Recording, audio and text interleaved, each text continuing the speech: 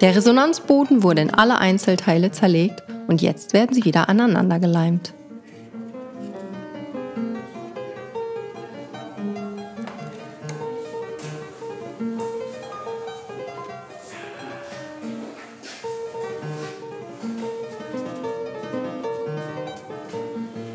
Nach dem künstlichen Trocknen wurde der Steg wieder festgeleimt und danach werden die Rippen wieder aufgeleimt. Eine sorgfältige Arbeit, die das Team zu dritt ausführt.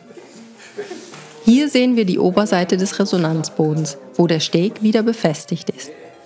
Der Resonanzboden wird mit dem Steg in eine Schablone gelegt. Ja.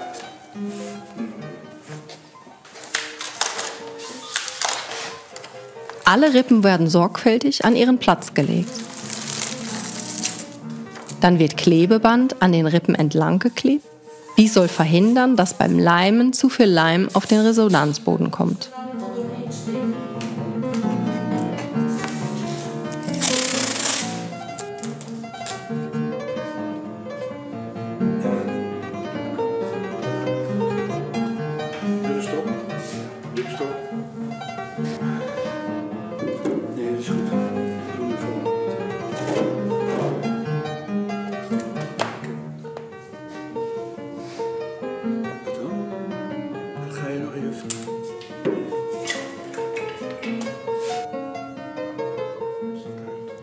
Heutzutage äh, benutzen wir Knochenleim noch nur für kleine Teile und Oberflächen. Und weil äh, Knochenleim warm sein muss, gerinnt es eigentlich ganz schnell.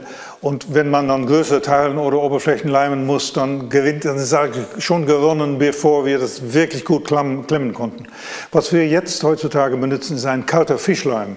Und das Wichtigste ist eigentlich, die Leim soll sehr hart werden, A, und B, man muss es wieder lösen können, wenn nötig, in 50 Jahren oder irgendwann in Zukunft.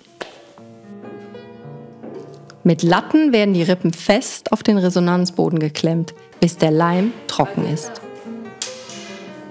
Für solche komplizierten Leimarbeiten wird eine Leimdecke verwendet. Mit normalen Leimzwingen kann man nur etwas, was ein kleines Ende vom Rand entfernt ist, festklemmen. Aber mit Hilfe dieser Latten kann man alle Teile überall festklemmen. Die Latten werden zwischen die Leimdecke und in unserem Fall eine Rippe geklemmt. Diese Latte, die sogenannte Cut-off-Bar, wird über die Rippe zurückgeleimt.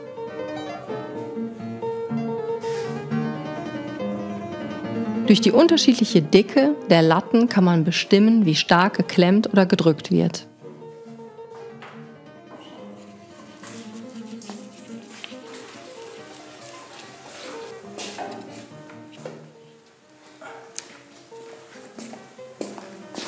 Oh, wacht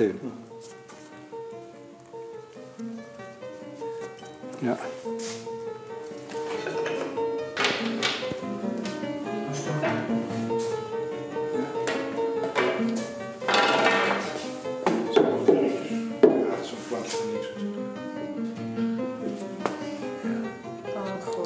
Der überflüssige Leim wird entfernt und jetzt kann das Ganze trocknen.